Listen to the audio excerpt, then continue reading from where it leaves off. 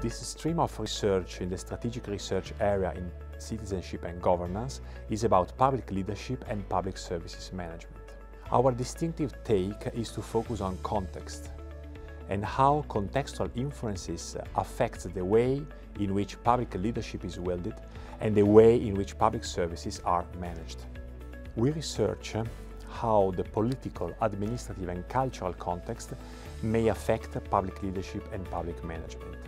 This is why our research is inherently comparative and this is why we work in close collaboration with top institutions and academics all over the world.